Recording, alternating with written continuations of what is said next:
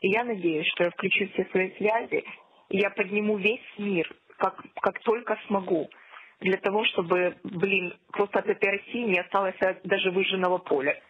Ну, я тебе скажу, что я, конечно, тебе здесь союзник, не просто союзник. И э, я хочу тебе сказать, что вот мы сегодня говорили, а что, э, я, это утром было совещание глав фракций, э, и потом я с Виктором говорил, Витя говорит, а что теперь делать оставшимся 8 миллионам русских, которые остались на территории Украины?